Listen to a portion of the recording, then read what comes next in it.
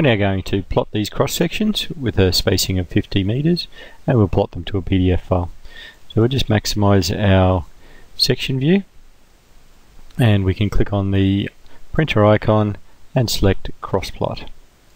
We already have a plot parameter file set up so we click on the folder icon, walk right on our user library, there'll be one there called 2009-06 sections.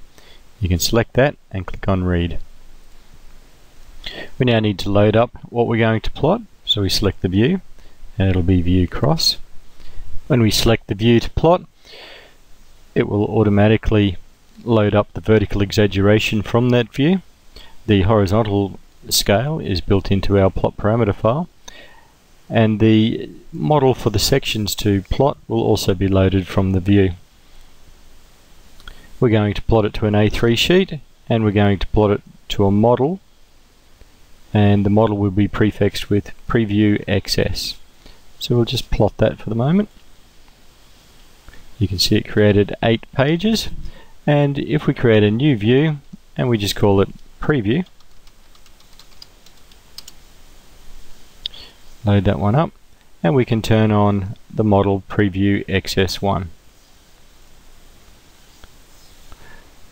so to take a look at how this PPF works just very, very briefly, if we go to the title block, you can see that we're using a title block and that title block has been loaded up from our user library.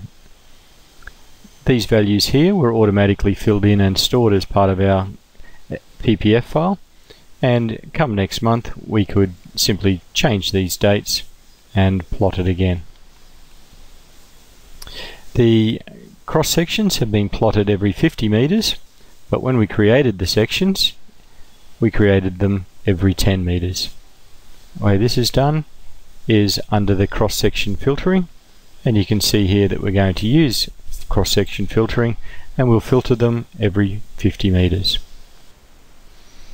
If we take a look at these plots you'll notice that we have a small extension out to the right and to the left of our cross-section and this is done under plot sheet layouts and left and right extensions. Directly under the plot sheet layouts you also have the margins and this is the left and right distances from your border into where the drawings will start and you can change this around to try and optimize the number of plots you get on a sheet. That goes hand in hand with the subplot gaps which is the distance between each plot. Also in the plot you'll notice that we've labelled a tin called May 2009 surface and this is the heights of the tin. If we go into our box's centerline here under common parameters you'll see we have one called tins to label and that's the 2009-05. To actually label it we have to go under boxes tins title values and you'll notice that we use set number one so this is defined as set number one under here we use set number one. We draw the tin we draw it green and we label it. So there it is drawn in green and then we're going to label it. To label it we go under here. Our title will be May 2009 surface on two lines. There's our textile our color and our size. The heights have their own values. So they can have a different height for example and you'll notice that the decimal places is set to minus 3 which means that we get zero padding.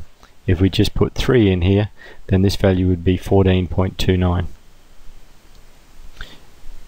In our section view directly above the labeling of our tin we appear to have another tin however this is actually the primary string that was profiled and it happens to be that it by the way we cut the sections they are actually heights on the tin so this is under the primary string text titles values. So we have the title June 2009 surface and then we have the values down the bottom.